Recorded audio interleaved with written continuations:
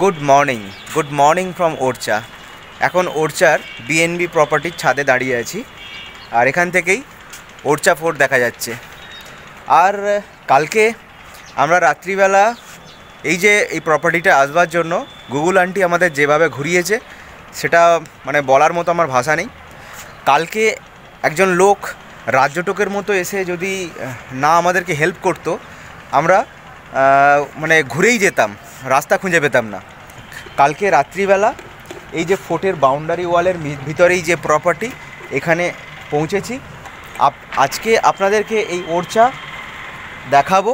আর এই ওরচা এখন হচ্ছে মধ্যপ্রদেশের মধ্যে পড়ে। আর এখান থেকে ষোলো কিলোমিটার দূরে হচ্ছে ঝাঁসি ফোর্ট। ঝাঁসি ফোর্টে আমরা যাচ্ছি না। আমরা এই ওরচা ফোর্টই আজকে আমি ঘুরবো। আর এটা চ্যালেঞ্জ করে বলতে পারি, কোনো বেঙ্গলি বাইকার এবং ইউটিউবার ওরচাতে আসেনি এবং ওরচা ফোর্ট দেখায়নি। রাজস্থান রাইডের এক্সাইটমেন্ট শেষ। আজকে থেকে আমাদের ঘর ওয়াপসই শুরু। তবুও এই জায়গাটা কিন্তু এক্সপ্লোর করতে কেন ছাড়ব? সেই জন্য চলুন আমার সঙ্গে এই জায়গাটা আমার চোখে দেখবেন। তো সকালবেলাতেই আমাদের চা এসে গেছে। আমরা অনেক দেরি পর্যন্ত ঘুমিয়েছি। তো চা খেয়ে এক্সপ্লোরেশন শুরু করব। যে হোটেলে ছিলাম তার দরজায় ক্লাবের স্টিকার লাগাবো। আমার নিজের স্টিকার কোনো এক জায়গা থেকে বানিয়েছিলাম তো অর্ধেক স্টিকার খারাপ পাঠিয়েছিল তাদের সঙ্গে গন্ডগোল আর করতে চাইনি, তো নামও বলতে চাইছি না, তো আপাতত এই রিবেল রাইডার স্টিকারটা এখানে ফিক্স করব।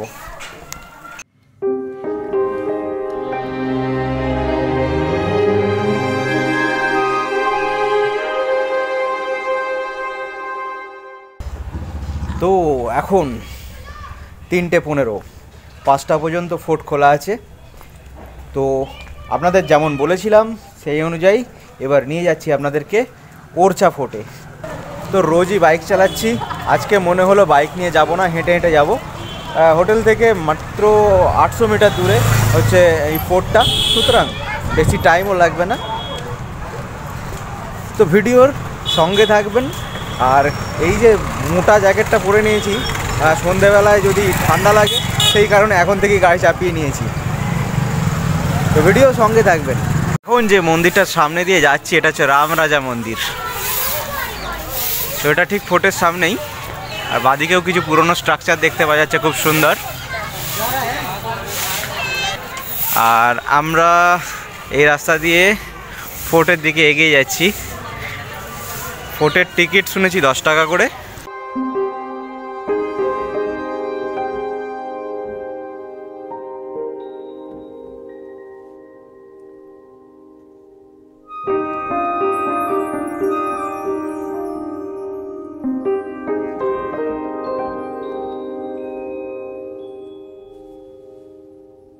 রাজস্থানে যত ফোটে ঘুরেছি, সমস্ত ফোটে দিয়ে হয় ট্রাইপড অ্যালাউ নেই না ভিডিওগ্রাফি অ্যালাউ নেই, হাজার প্রবলেম যদি এই ফোটেও ওই ট্রাইপড অ্যালাউ এবং ভিডিওগ্রাফি অ্যালাউ না থাকে, সোজা এখান থেকে বেরিয়ে চলে যাব। তো ভিডিওই করব না। তো দেখা যাক টিকিট কাউন্টারের কাছে এখানে টিকিট কাটবো, কত টিকিট সেটাও আপনাদেরকে জানাচ্ছি। তো ইন্ডিয়ানদের জন্য দশ টাকা original two fifty photography twenty five videography two hundred ওই সিন কাউন্টারে জিজ্ঞাসা করে নিয়েছি আর টিকিট অলরেডি নিয়ে নিয়েছি। ভিডিওগ্রাফি ইউজ করা যাবে। এই মানে মোবাইলে ভিডিও ভিডিওগ্রাফি করা যাবে আর ট্রাইপড ইউজ করা যাবে এই টিকিটটা দিয়ে ফোটের মধ্যে এবং ফোটের বাইরেও কতগুলো জায়গা আছে সেগুলো এই টিকিটটা দিয়ে ঢুকতে হবে। তো আসুন ফোটের মধ্যে এবার এন্ট্রি করা যাক।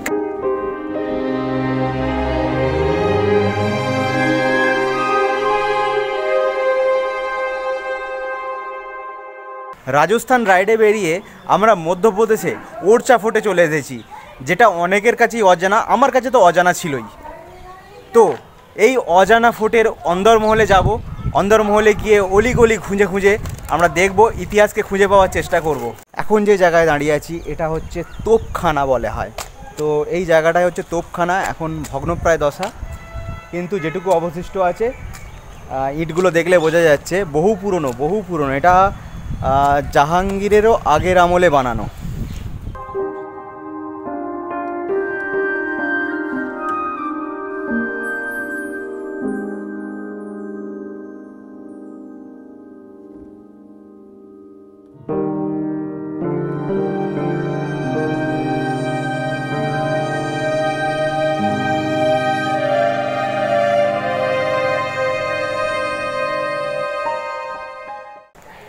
রাজাদের দিয়ানি আমেতে আমি এখন দাঁড়িয়ে আছি।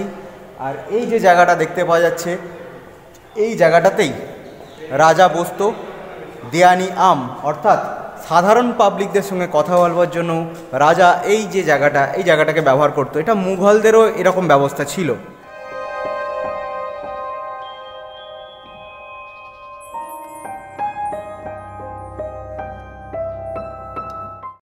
উপরে যে কাজগুলো করা আছে, কাজগুলো খুবই সুন্দর।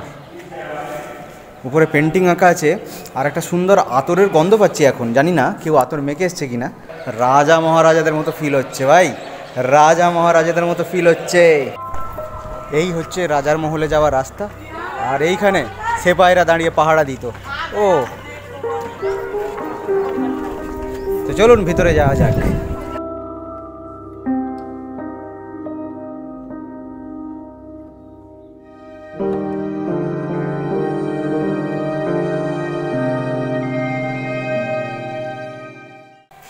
সেই সময়কার রাজা মহারাজাদের আমলে আঁকা পেন্টিং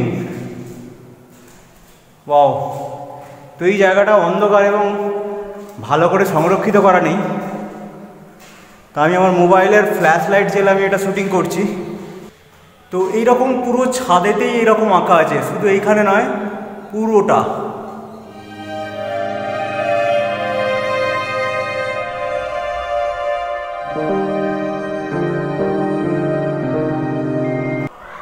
এই যে ওরচা ফোর্টে ঘুরে বেড়াচ্ছি, এই ওরচা ফোর্ট পনেরোশো শতাব্দীতে তৈরি বুন্দেলখণ্ডের রাজারা।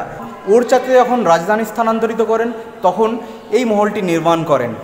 এই সমস্ত মহলগুলোর দেওয়ালে যে সমস্ত পেন্টিং করা আছে, আজও আজও এখনও পর্যন্ত রং দারুণ সুন্দর। পিছনে দেখতে পাওয়া যাচ্ছে এর উদাহরণ। অসম্ভব সুন্দর কাজ। এই যে দেওয়ালগুলো আছে, দেওয়ালগুলো বিশাল মোটা এবং এই মোটা হওয়ার জন্য গরমকালে এখানে আপনি ঠান্ডা অনুভব করবেন, আবার শীতকালে গরম অনুভবও করতে পারবেন।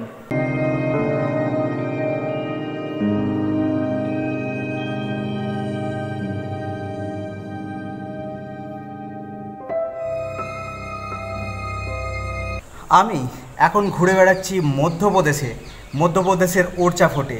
এই ভিডিও আপনাদের কেমন লাগছে কমেন্ট করে নিচে জানাতে ভুলবেন না। আর এখনও যদি চ্যানেলটা সাবস্ক্রাইব না করে থাকেন, চ্যানেলটাকে কিন্তু সাবস্ক্রাইব করে দেবেন, ভিডিওটাকে লাইক করবেন। আমি এখন এই যে রাজমহলটার একদম টপে এসে দাঁড়িয়ে গেছি, আর এই টপ থেকে চারিদিকের ভিউ অসাধারণ। এই মহলটাকে দেখলে একটু অন্যরকম ফিলিংস হয়, এর স্ট্রাকচারটা ঠিক একদম অদ্ভুত ধরনের। অর্থাৎ আমি বলতে পারা যায়, এর আর্কিটেকচারটা একটু ডিফারেন্স কিন্তু। অন্যান্য যে সমস্ত ফোর্ট দেখেছি তাদের থেকে। মানে চারদিকে সব ভুলভুলাইয়ার মধ্যে একবার হারিয়ে গেলে কোথা দিয়ে যে কোথা দিয়ে বেরোতে হবে কিছু খুঁজে পাওয়া যায় না। এখন যেমন একটা ভুলভুলাইয়ার মধ্যে ঢুকছি আবার। হ্যাঁ অন্ধকার বলি। এখন যদি বাড়ির সিঁড়ি বানানো হয় তাড়িয়ে দেবে বাড়ি থেকে। এটা মেন মেন দর মেন যাতায়াতের সিঁড়ি নয়। এটা কত নিচু নিচু। এটা দেখতে পাওয়া যাচ্ছে? পাও এই যে ঘরটার মধ্যে এলাম, প্রচুর প্রিন্টিং করা আছে দেওয়ালের মধ্যে। অসাধারণ লাগছে অসাধারণ লাগছে।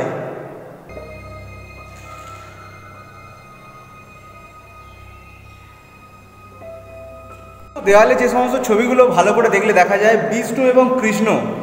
এই যে দুটো অবতার, ভগবানের দুটো অবতার, এদেরকে নিয়েই বিভিন্ন রকম চিত্র এখানে দেওয়ালেতে আঁকা আছে। তো এখন আমরা জাহাঙ্গীর মহলে চলে এসেছি। এর এই সামনেই দেখতে পাচ্ছেন জাহাঙ্গীর মহল। আর এই বাঁদিকের যে অংশটা দেখতে পাচ্ছেন, এটা এখনও হোটেলে কনভার্ট হয়ে গেছে।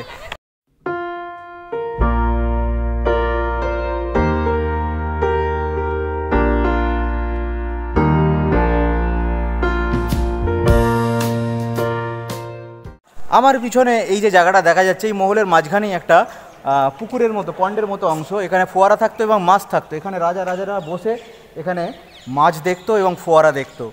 তো এখন আছি জাহাঙ্গীর মহলের একদম টপেতে আর এখান থেকে ভিউটা অসাধারণ লাগছে। কথিত আছে যে যখন মুঘল বাদশাহ জাহাঙ্গীর এই ওরচাতে আগমন করেন, তো তার থাকবার জন্য এই মহলটি ওরছার রাজা বানিয়ে দেন।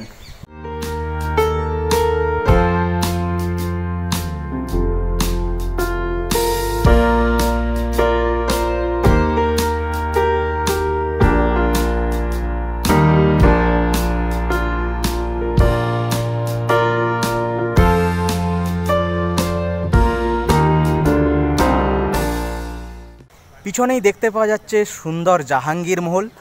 আর ঠিক এদিকেই আছে উটখানা, অর্থাৎ এখানে উট রাখা হতো।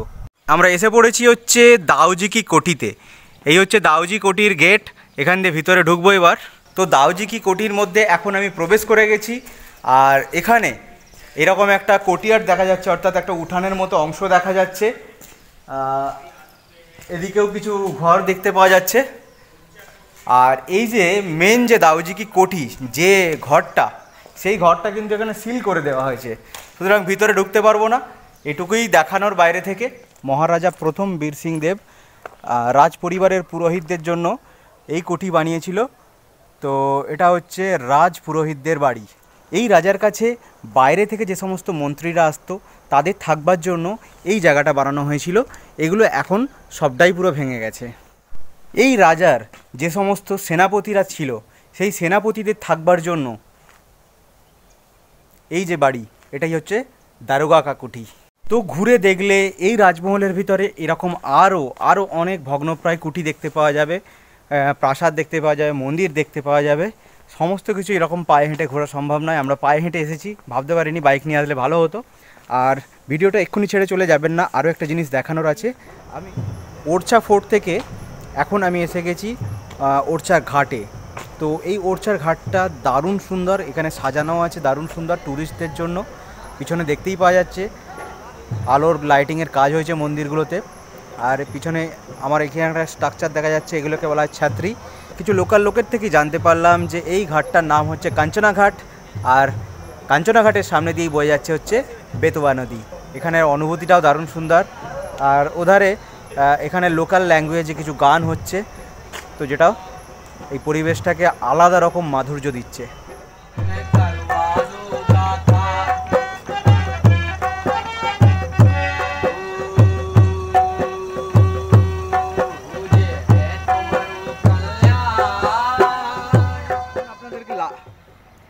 আজকের ব্লগটা কেমন লাগল?